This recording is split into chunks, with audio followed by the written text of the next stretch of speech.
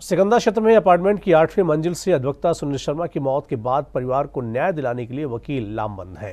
गुरुवार को बार की बैठक में सात सदस्यीय समिति का गठन कर आंदोलन को बरकरार जारी रखने का निर्णय लिया गया। सिकंदरा के मंगलम आधार अपार्टमेंट में रहने वाले आगरा बार एसोसिएशन के पूर्व अध्यक्ष सुनील शर्मा की पुलिस दबिश के दौरान संदिग्ध परिस्थितियों में आठवीं मंजिल से गिरकर मौत हो गई थी। इस प्रकरण में एसओ न्यू आगरा और चौकी इंचार्ज को निलंबित कर 10 पुलिस कर्मियों के खिलाफ हत्या का मुकदमा दर्ज किया गया। इसके बाद दीवानी के अधिवक्ता आंदोलनरत है। वकीलों ने एक स्वर में आंदोलन जारी रख पीड़ित परिवार को न्याय दिलाने आरोप ज़ोर दिया है।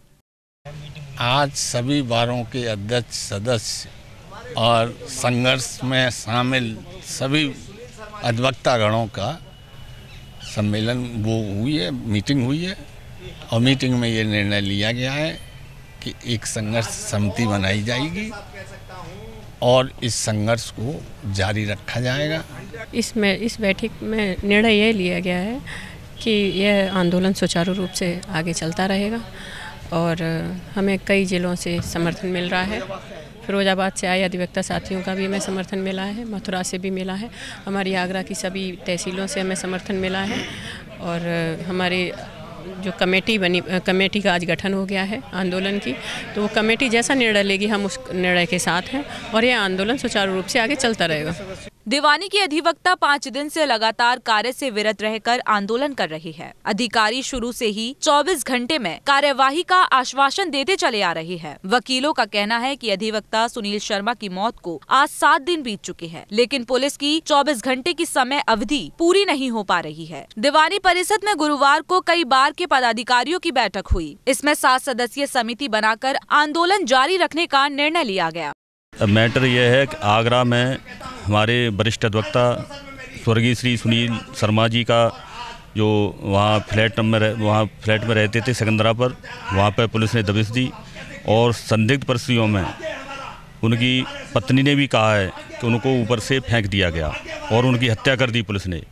इसलिए हमारे फिरोजाबाद की बार आगरा की बार को समर्थन करती है और ये अपने प्रशासन सरकार से ये मांग करती है कि उनके परिवार को एक करोड़ रुपए मुआवजा दिया जाए और जो जिसके नाम में एफआईआर हुई है, जो पुलिस के अधिकारी हैं, कांस्टेबल हैं उनकी गिरफ्तारी की जाए। अधिवक्ता सुनील शर्मा की मौत के बाद चल रहे आंदोलन में फिरोजाबाद के अलावा आसपास के जनपदों के अधिवक्ता भी समर्थन देने दीवानी पहुँच रहे हैं। दीवानी पहुँचे फिरोजाबाद के वकीलों का कहना है कि फिरोजाबाद में भी वकीलों ने हड़ताल रखकर समर्थन किया है। अधिवक्ता दोषी पुलिसकर्मियों की गिरफ्तारी, मृतक सुनील शर्मा के परिवार को एक करोड़ रूपए और सीबीआई मांग पर अड़े हुए है। वकीलों का कहना है की पुलिसकर्मियों पर दर्ज मुकदमे की जाँच पुलिस निष्पक्ष नहीं करेगी। इस वजह ऐसी सीबीआई से जाँच कराए जाने की मांग उठ रही है। जैसा कि आपकी जानकारी में विगत एक मार्च से आंदोलन निरंतर चल रहा है। आंदोलन की हमारी तीन मांगें थी। जो अभियुक्त नामजद हैं, उनकी गिरफ्तारी की जाए। पीड़ित पक्ष को एक करोड़ रुपए का मुआवजा दिया जाए। और जाँच सीबीआई के माध्यम से की जाए।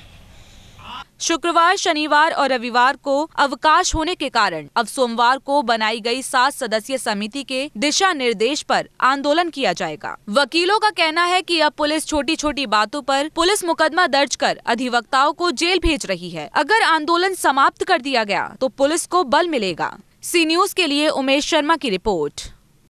आगरा के सर्वाधिक लोकप्रिय चैनल सी न्यूज़ के यूट्यूब चैनल को सब्सक्राइब करें और बेल आइकॉन को प्रेस करना ना भूलें।